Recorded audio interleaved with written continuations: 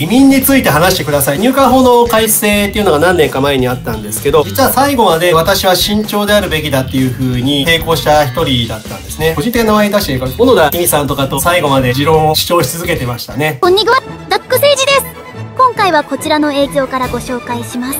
この内容に対するみんなの思いをコメントで書きまくってほしい具は、それでは行きましょう。そうそう移民について話してくださいってありましたね。これは今入管法の改正っていうのが何年か前にあったんですけど、実は最後まで私は慎重であるべきだっていう風に、まあ、最後は実は抵抗した一人だったんですね。まあ、最後はですね、これ結構揉めて、自民党の党本部の会議がね、夜中10時ぐらいまでやった記憶あるんですよね。最後決着つかなくて、結構私も粘っていたので、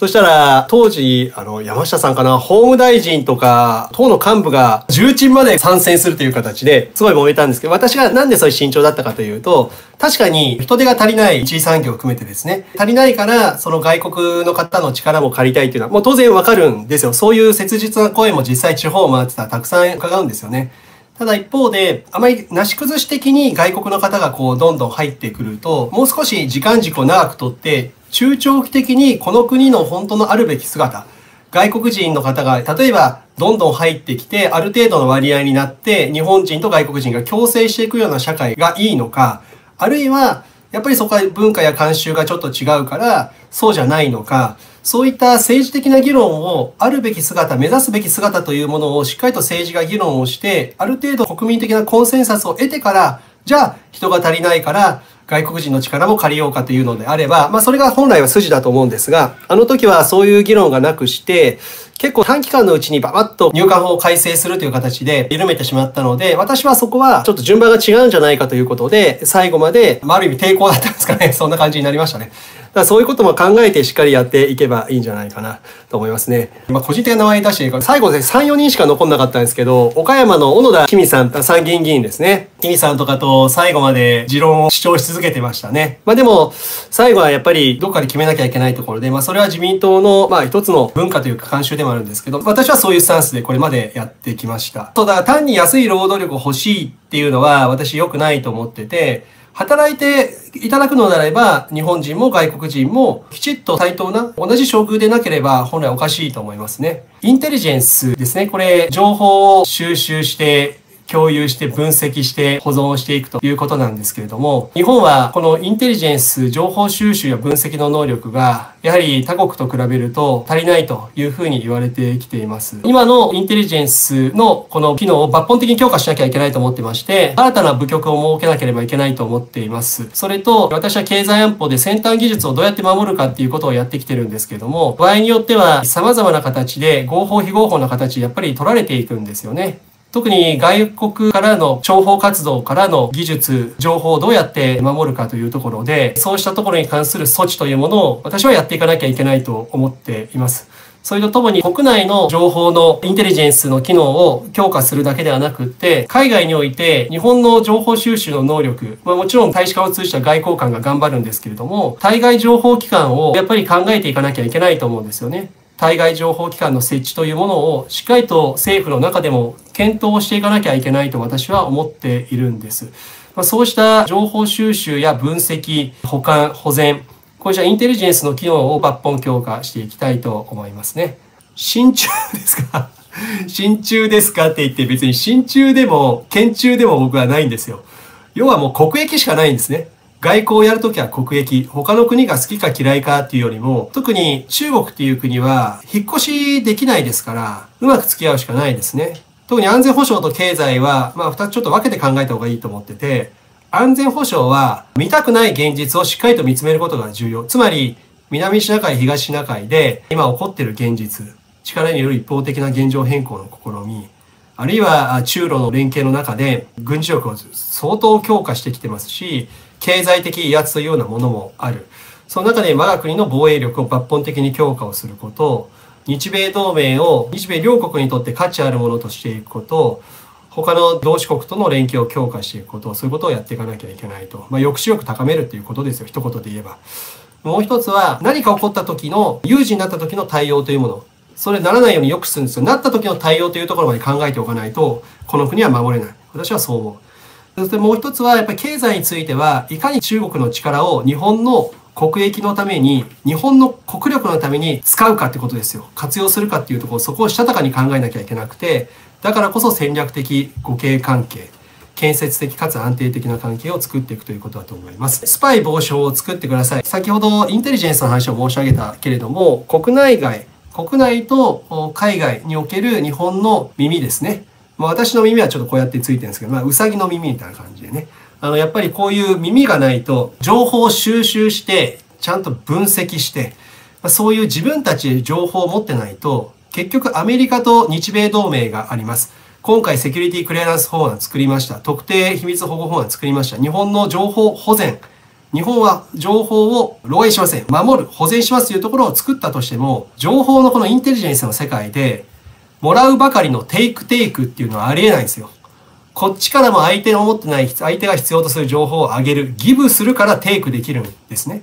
だからこそ自分たちで情報を取る能力がなかったら、本当の意味でこの戦略っていうのはできないと私は思ってるんですよ。で日本はまだまだそこが足りない。こういう話をすると、やはり政治的なリスクがあるとか、一部の国民の皆さんとか、あるいはメディアから、あるいは野党から、もしかして叩かれるんじゃないかっていうことで、これまで若干政治家が慎重になったところあると思うんですけど、やっぱりそういうところとしっかり向き合わなかったら、国民の命の暮らしなんか私は絶対守れないと思うんですよね。選択的夫婦別姓についてお願いします。これね、結構メディアの方から、このテーマすごい毎回毎回聞かれるんですよね。私のスタンスっていうのは、まず子供の視点っていうものをちゃんと踏まえて、え議論した方がいいんじゃないかっていうのが根本にあるんですよね。例えば、まあ選択的だから、まあいいじゃないか。まあ自分は同性にするけど別に別姓がいいんだったらそれはそれでいいんじゃないかって話もあるんですけど、例えば、兄弟姉妹がいるときに、兄弟間で性が違う子供、家庭も出てくるわけですよね。で、そういうことが本当に子供の視点に立っていいのかどうか、子供に選ぶ権利があるのかどうか、いつ選べるのか、あるいは権利がないのか、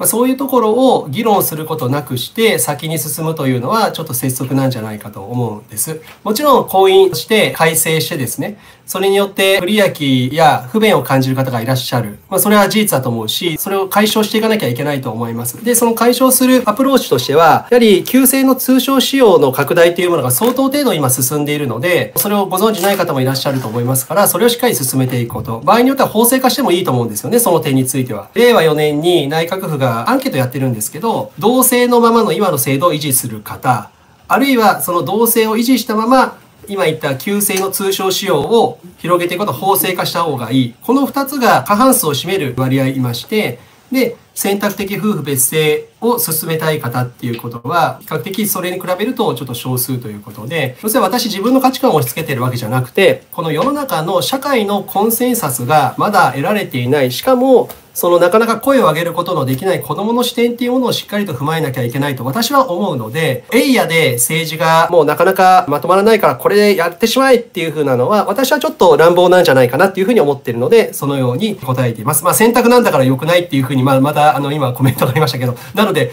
選択は大人はいいとしても子供はどうするんですかっていう話をみんなで考えた方がいいんじゃないかっていうことですね。確定申告義務化の話簡単に答えますけれども、これまでの源泉徴収と年末調整で対応するこの仕組みっていうのは、まあ多くのサラリーマンにとって、ま、今のこうした所得税制っていうのは非常に簡便で効率的な制度だと私は思うんですよね。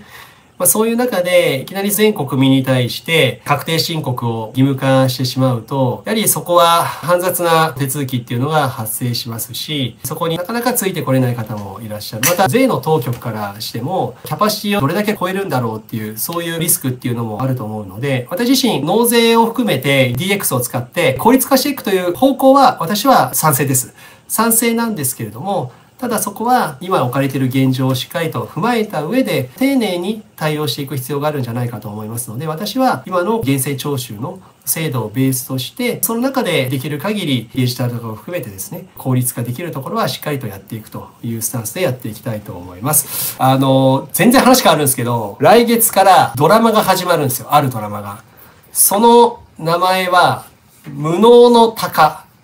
脳のない鷹ですね。無能の鷹って皆さんご存知です？で、私はもう実は前から知ってて、これ漫画が出てるんですよ。うん、無能の鷹、草って これ、これね、結構いい、この YouTube ライブ、まあ過去何回かで、僕の妻について、いろいろ話題に上ったことがあったので、まあ、あの、僕はあの人として妻のこと、もうほんと完全にリスペクトしてるんですけど、実はね、あれ1年ぐらい前だったかな、家に帰った時に、これ読んでごらって言われて渡された漫画が、無能の鷹っていう漫画があったんですよ。この、なんか、